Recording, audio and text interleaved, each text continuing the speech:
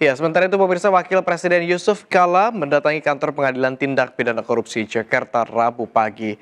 JK hadir sebagai saksi dalam sidang peninjauan kembali yang diajukan terpidana Surya Darba Ali dalam kasus korupsi penyelewengan dana ibadah haji.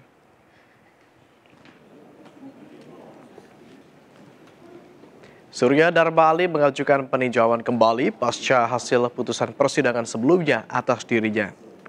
Sidang yang dimulai pukul 10 Rabu pagi diawali dengan kehadiran terpidana Surya Darba Ali selaku penggugat bersama tim kuasa hukumnya disusul CK yang dikawal ketat pas pampres.